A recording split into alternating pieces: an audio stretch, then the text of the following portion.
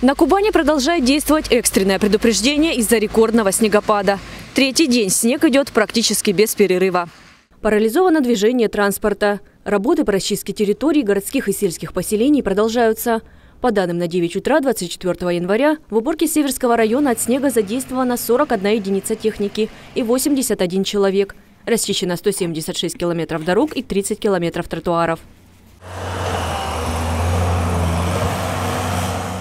Несмотря на то, что службы работают в режиме повышенной готовности, ресурсов на такое количество осадков попросту не хватает. Деревья под тяжестью снега ломаются и падают. Техника ломается, буксует, не выдерживая нагрузки.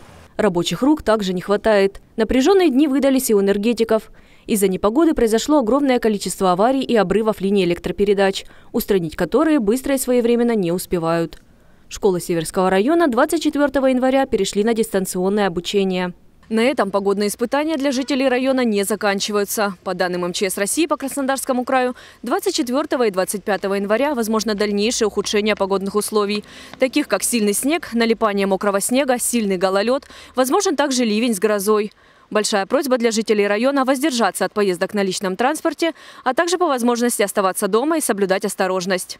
С 13.00 24 января на территории Северского района ввели режим чрезвычайной ситуации.